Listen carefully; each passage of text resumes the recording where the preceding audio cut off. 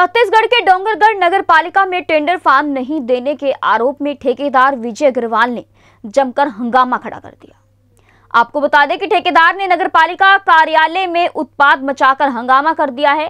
ठेकेदार का आरोप है कि वह नगर पालिका में टेंडर लेने गया था, लेकिन यहाँ सीएमओ से लेकर इंजीनियर तक जो है, वह टेंडर फार्म के लिए कई दिनों से घुमा रहे हैं।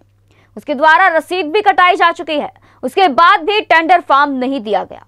फ़िलहाल टेंडर नहीं मिलने से नाराज़ ठेकेदार विजय अग्रवाल ने पालिका परिसर में जमकर हंगामा खड़ा कर दिया, जिसके बाद आनंद फानन में पुलिस को भी वहाँ बुलाया गया।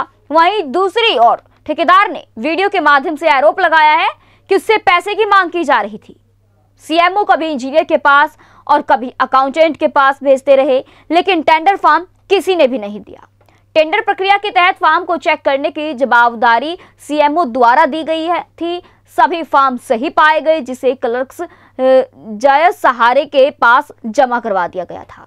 इसके बाद की प्रक्रिया जय सहारे को सीएमओ के हस्ताक्षर लेकर करना था।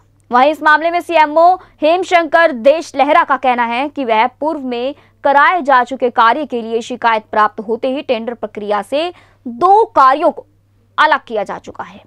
ठेकेदार द्वारा कार्य के बदले राशि मांगने का आरोप बेबुनियाद है। ठेकेदार ने जो दुर्व्यवहार किया है उसके खिलाफ पुलिस थाना में शिकायत दर्ज करवाई गई है।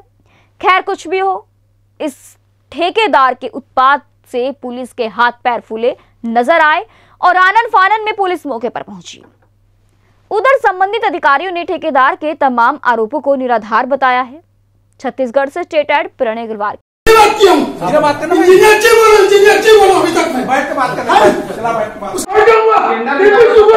बात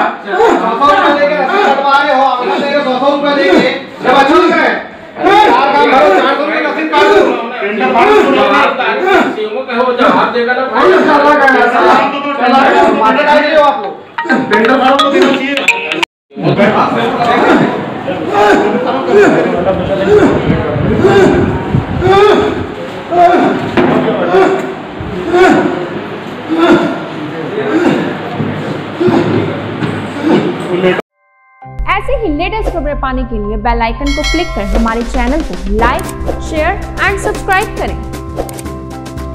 धन्यवाद।